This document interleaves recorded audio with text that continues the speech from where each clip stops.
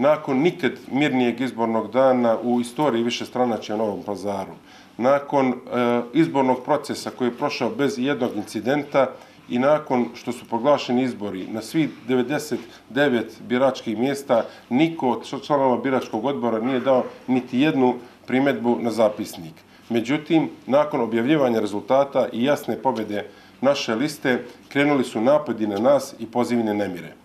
Razlog aktuelnog opozicijenog delovanja je, kako navodi Melajac, taj što opozicija želi da prikrije činjenice o lošem izbornom rezultatu te da primjeri preostalo članstvo koje, kako navodi Melajac, se već rasulo na više frakcija. Navešću samo primjer SPP-a i njihovog lidera Usame Zukorlića. On je na konferenciji za štampu prvo istakao da njihova lista ima 13 odbornika, na kraju se ispostavilo da imaju 12. Također su rekli da, ima, da su na republičkim izborima osvojili tri poslanička mesta, na kraju ispalo da su osvojili dva. U apsolutnim brojevima, na prethodnim izborima koji su se održali 2022. godine, oni su osvojili 36.000 glasova. Na ovim, na koji su bili u koaliciji sa Hrvatskom listom, osvojili su 28.000. Za samo godinu dana to je objektivno pad od 30% podrške. Kako da to ne izazove revolt kod njih? I šta sad pokušavaju? Pokušavaju da pozivima, dok te oni idu, juče su počeli sa masovnim pozivima Sjeničaka i Tutinaca da dođu sut, na sutrašnji protest u Novom pazaru.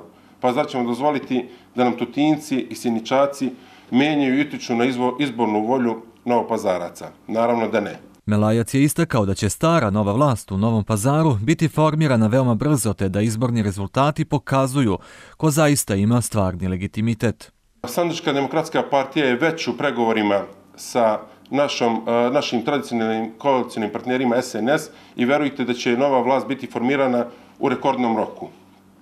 Također, što se tiče republičkih izbora, tu smo ostvarili odličan rezultat i e, pregovori na tom polju idu odlično i mogu reći da ćemo u novom mandatu imati do sada najveću zastupljenost. Također, moram se osvrnuti na veliki uspeh naše liste, jer nije lako u objektivno najsloženijoj političkoj sredini, ne samo u Srbiji, već i šire, kao što je Novi Pazar, ostvariti petu uzastopnu pobedu. Moram napomenuti da smo od SDA imali duplo više glasova, to je 100% više glasova, a od SPP-a 70% više glasova. To dovoljno govori, govori o našem legitimitetu.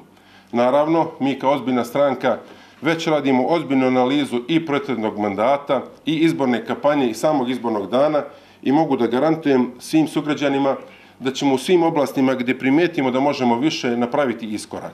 Puni alana ulazimo u novi mandat i vidjet ćete na sljedećim izborima ostvarit ćemo još bolji rezultat.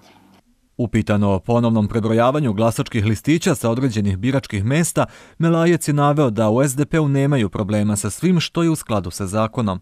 Mi smo za svaki zakonski vid provjere, naravno, nismo za nerede, nismo za nebire, nisam ovo što sam naveo da se dovode ljudi iz drugi, iz drugih gradova da, da ovdje protestuju, naravno to su sve naša braća i sestre, ali jednostavno mora imati neke crvene linije.